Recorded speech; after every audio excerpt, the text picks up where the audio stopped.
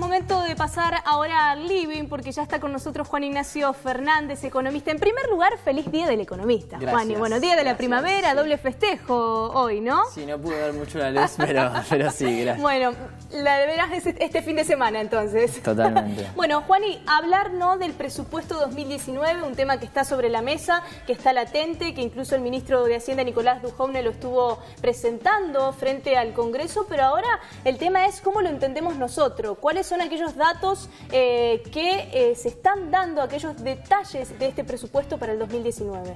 A ver, tiene, el presupuesto siempre tiene implícitas varias estimaciones que hace el gobierno, eh, tipo cambio, dólar, inflación y demás.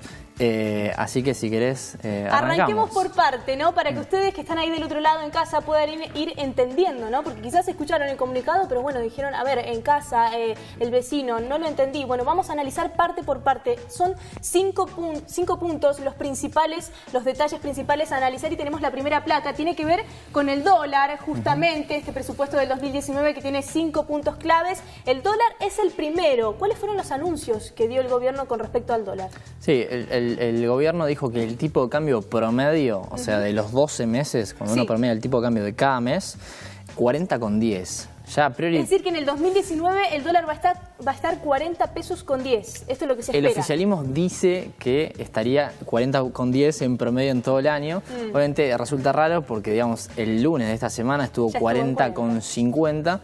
Así que ya eso resulta raro. Y más raro porque es el promedio del año con lo cual, eh, digamos, la mayor parte del año básicamente tenés que estar en un entorno de 40 mm. pesos para que dé ese promedio. E incluso se habla, Juani, de que en el 2021 el dólar llega a estar a 50 pesos. ¿Puede que esto se dé antes inclusive? Sin duda. Sin duda. Sí. Yo te estoy transmitiendo lo que dice el presupuesto. Ahora, después vamos a, lo que en realidad uno debería esperar mm. y si es razonable o no la estimación. ¿no? Es decir, eh, lo que se transmite oficialmente es que va a haber un dólar de 40,10 para el 2019. Ahora, ¿cuál es la realidad de esto? Y mira, lo cierto es que, como dijimos en programas anteriores, el dólar hoy da la coyuntura monetaria, te diría, no tiene techo, y, pero dentro de la, incertidumbre que siempre hay en torno al dólar, yo te diría que 40 con 10 es un pronóstico que con 99% de certeza no se, no se dé. Queda lejos. Sí, sí, muy lejos. ¿Cuánto crees que estaría aproximadamente en el 2019 el dólar? Como vienen dándose las cosas. Mira, yo creo que por lo menos deberíamos pensar una depreciación de, un 15-20% como mínimo. O sea que estaríamos hablando, eh, hoy lo tenemos en 38, bueno, sumarle un 15-20% a ese número, ahí tenés unos 7-8 pesos más. O sea, deberíamos hablar de un dólar arriba de los 46 pesos más o menos como para empezar a tener un número medianamente razonable. Ok, una base para el año próximo, ¿no? Es decir, en el 2021 anunció el gobierno que podía estar 50 pesos. A ver, estamos bastante cerca al ritmo que vamos de esos 50 pesos en menos de un año inclusive. Ahora, pasando al segundo punto principal de lo que es este presupuesto para el 2019 anunciado por el gobierno, tenemos una segunda placa que tiene que ver con lo que es la actividad económica para este 2019. El gobierno habla de que una actividad económica que va a tener una caída del PBI del orden del 0,5%. Sí, a ver, es la primera vez en mucho tiempo que reconocen en el presupuesto que el PBI va a estar comprometido. Generalmente, incluso en los años donde se, podía prever que iba a caer el PBI, te decían que iba a haber crecimiento. O sea, este es un dato, el más razonable, te diría, de casi todas las estimaciones. ¿no? Sí. Eh, así todo no queda claro que sea una caída del 0,5 eh, lo que vaya a pasar. Podría ser un poquito más, pero te diría no creo que esté tan lejos de ese número. Ok, y vamos a detenernos ahí, en este tercer punto, que es el PBI, ¿no? Para que la gente se ubique. Eh, ¿Qué es el PBI? ¿Cómo influye que caiga? ¿Cómo influye que crezca? E incluso este crecimiento de las exportaciones de las que habla el gobierno, ¿cómo va a influir sobre el PBI? Mira, el PBI es la variable más importante eh, real de la economía. Es cuánto, digamos, eh, eh, digamos, es la sumatoria de bienes y servicios que produce la economía. O sea, si producís más o menos que el año anterior. Y según esto, esto comparado con lo que necesitas, ¿no? Sí, es vital porque, digamos, eso te marca el termómetro de si la economía se está agrandando o se está achicando y eso determina siempre los salarios, la desocupación y demás. O sea que ese número es súper relevante y acá lo que está reconociendo es que la economía el año que viene, a pesar de que este año vamos a caer entre 2,5 y 3%, la economía el año que viene va a volver a caer. ¿sí? Eso, eso no es menor. El presupuesto dice que es 0,5 va a caer. Yo esperaría una caída alrededor del 1%. 1%, es decir, el doble aproximadamente. Sí. Eh, hablamos del PBI, vamos a la cuarta, al cuarto detalle de este presupuesto 2019 y lo podemos ver en pantalla que mencionaba Nicolás Dujovne incluso frente al Congreso este proyecto de presupuesto 2019 y tenemos las exportaciones. ¿Qué mm. pasa con las exportaciones? Es acá donde el gobierno habla que van a crecer. Sí, yo diría que este es uno de los puntos. Este es, este es uno de los puntos más, más, más polémicos, diría. Porque, por un lado, digamos, el presupuesto tiene implícitos, eh, digamos, nuevos gravámenes, ¿sí? Ahora, eh, digamos, el flamante derecho de exportación, ¿sí? Se suben los impuestos a las exportaciones, o sea que es más difícil exportar, más caro exportar. Eh, digamos, la economía viene de un buen, de un muy significativo parate. Eh, se suben las retenciones, básicamente, con esto de las exportaciones. Y por otro lado, el gobierno está diciendo que las exportaciones van a crecer 20%, que 21% el año que viene. Mm. Con lo cual, si bien es cierto que tenemos un dólar más competitivo y demás, lo cierto es que con estos, digamos, digamos, querer, o sea, vos cuando cobras un impuesto generalmente desincentivas esa actividad. Si yo te cobro un impuesto a una gaseosa y lo más probable es que consumas menos. Si, yo te pongo si yo te subo los impuestos a las exportaciones y vas a tender a exportar menos. El dólar te lo compensa, pero me parece un poco optimista. A ver, dónde compensa el dólar, no? Porque estamos hablando de un dólar que, bueno, bien, a más de 40 pesos va a ser más competitivo con el exterior, van a poder exportar, pero ¿cómo influye en la creación, no? Eh, ¿Cómo influye en la pyme, cómo influye en la empresa, en todo lo que es la industria argentina, este dólar que esté arriba de los 40 pesos y estos impuestos en la exportación, no? Mira, yo te diría que en el mejor de los casos podríamos esperar unas exportaciones creciendo entre 10 y 13%. El 20 me parece, me parece mucho, dado el contexto. ¿Por qué crees que el gobierno dice un 20%? Y porque es un número clave. Recordemos que estamos en medio de las negociaciones con el FMI y el gobierno tiene que poner en su planillita de Excel que van a entrar una determinada cantidad de dólares ¿sí? Hmm. Y esta es la, esta es la entrada principal.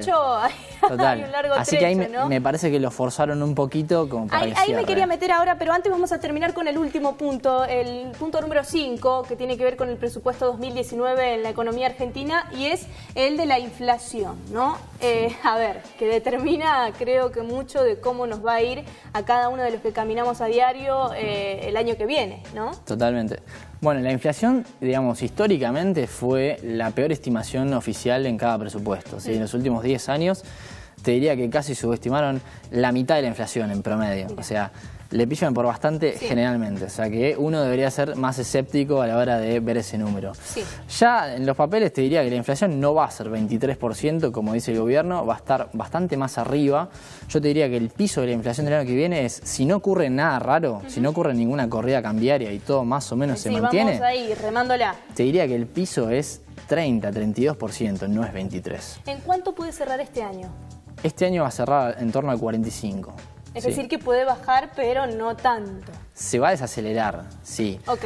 ¿Qué diferencia hay entre que baje a que se eh, baje la velocidad? A ver, tenemos una inflación súper anómala, muy alta, y lo cierto es que, digamos, eh, decir que baja la inflación en este contexto, digamos, para los argentinos estamos normalizados, o sea, eh, con el tema de la inflación nos parece que sí, que baja, uh, buenísimo, baja al 20%, pero lo cierto es que si uno lo pone en términos técnicos, es una inflación altísima. Es decir, que es muy difícil bajarla. A ver, uno porque lo ve, ve el numerito que sube, baja, el porcentaje que sube y baja, pero detrás de todo esto hay distintas medidas que se tienen que tomar, hay distintas cosas que tienen que funcionar como una economía y demás, ¿no? Totalmente. Bueno, de hecho, uno de los factores por los cuales la inflación del año que viene no va a ser 23% es por el, eh, digamos, el muy alto arrastre que va a haber de 2018 a 2019. Mm. Recordemos que los meses de peor inflación, de la inflación más alta, lo estamos viendo ahora, ¿sí? al inicio, te diría, del cuarto trimestre, con lo cual la inflación alta se va a extender un poquito, un poquito bastante al primer trimestre de 2019 y eso va a tirar el promedio para arriba.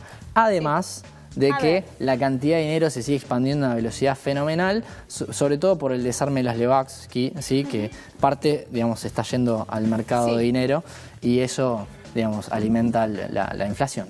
¿no? Sí, ah, eh, corrió esta semana una información de que el, dólar eh, incluso bajó debido a plata que ingresó del extranjero. Sí, digamos, sí, es así, es cierto. Digamos, ahora es como que el mercado leyó que se había sobrecastigado a Argentina lo cierto es que se lo estaba penalizando como una economía, una economía que estaba en un pleno default. y eh, el mercado leyó que en estos valores Argentina estaba barata, en los valores de, inicio de la semana, no estaba barata.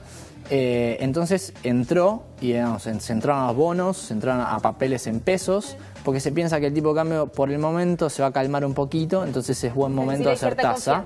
Pero eso es algo transitorio.